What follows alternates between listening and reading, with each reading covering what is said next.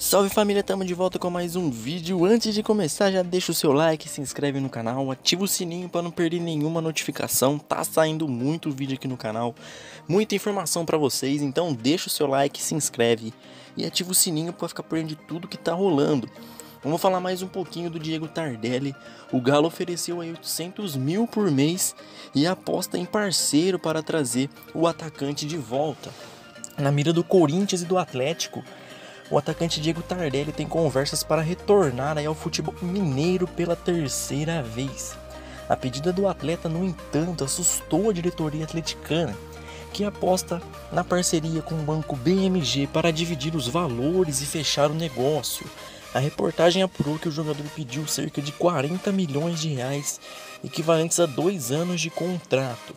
O valor seria dividido em 26 parcelas e assim a pedida do jogador alcança a casa de um milhão e meio por mês.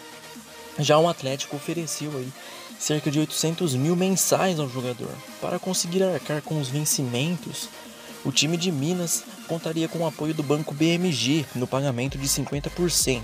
Portanto, ficaria aí 400 mil reais a, custo do Atlético. O Atlético pagaria 400 mil e o banco BMG mais 400 mil para poder fechar com o Diego Tardelli.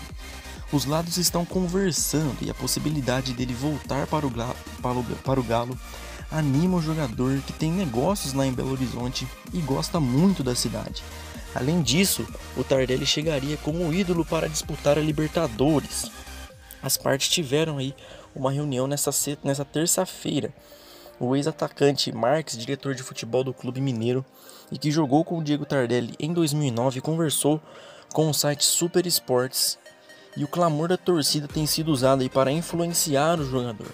Durante essa quarta-feira, a hashtag Volta Tardelli foi o assunto mais falado do Brasil nas mídias sociais. Então, a torcida apoiando muito a causa do Tardelli, né, pedindo para que o Tardelli volte né?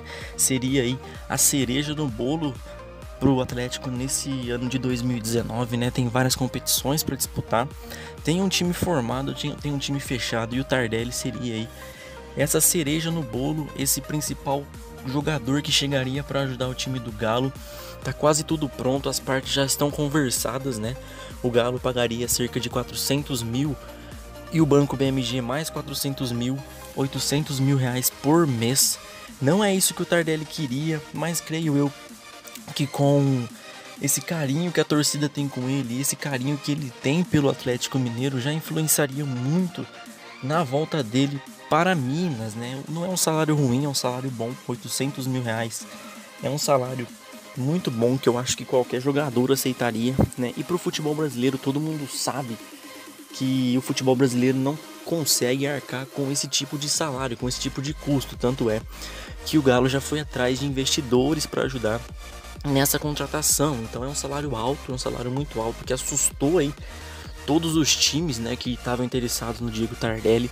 Só que o Galo quer muito trazer o jogador, quer muito contratar o Tardelli, então deu um jeitinho aí, foi atrás, deu um jeitinho e tá tentando ao máximo aí fazer com que o Diego Tardelli retorne aí porque a torcida atleticana quer. Eu tô vendo no último vídeo que eu postei muita gente falando pro Tardelli voltar.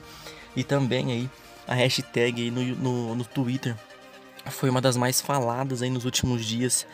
A hashtag volta Tardelli. Então eu acho que é muito difícil essa negociação não dar certo.